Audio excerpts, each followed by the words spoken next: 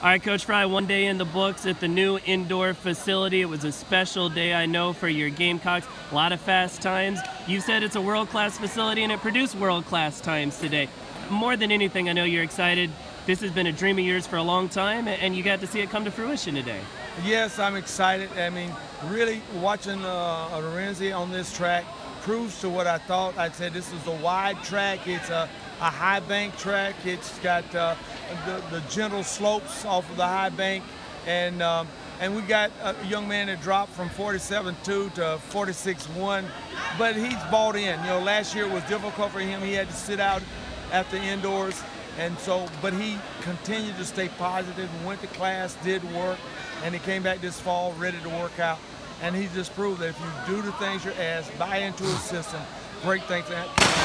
He ended up breaking the, the, school record by Jonathan Fortenberry, and uh, and he also broke his national record. Now he's the national record holder in the 300 and in the 400. So we're proud to, to have this track setting records.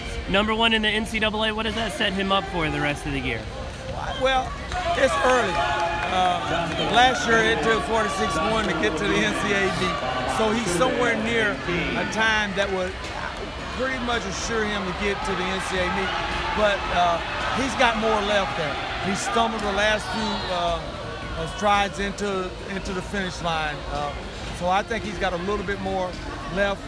Um, we'll come back here and run a fast race on February February 2nd. And so we'll find out what's left there.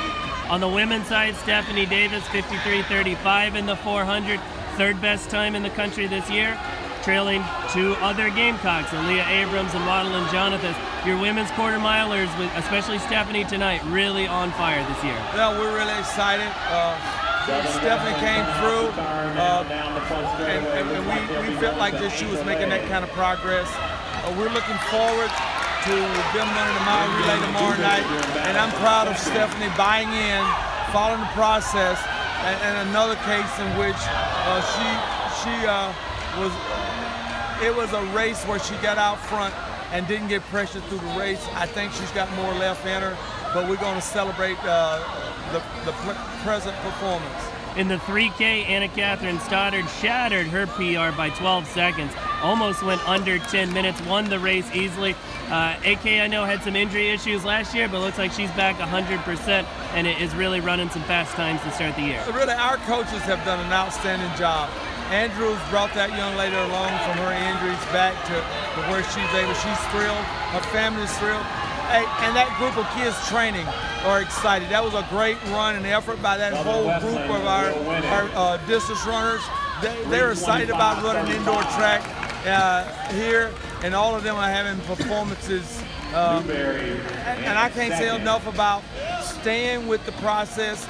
Uh, you know, we just had a great academic semester. We had two 4.0 student athletes, and those are the same uh, student athletes that have great academic performance. Now they get to, to perform on a home track in front of their family and friends, and, and you see what comes out when you get to perform in front of your friends. It's a fantastic first day at the new track. I know you got to be excited for tomorrow. Appreciate it, Coach Frye. Thanks a lot. Look forward for a lot of fans and friends of Gamecock Nation to support uh, their student athletes. Thank you, Coach.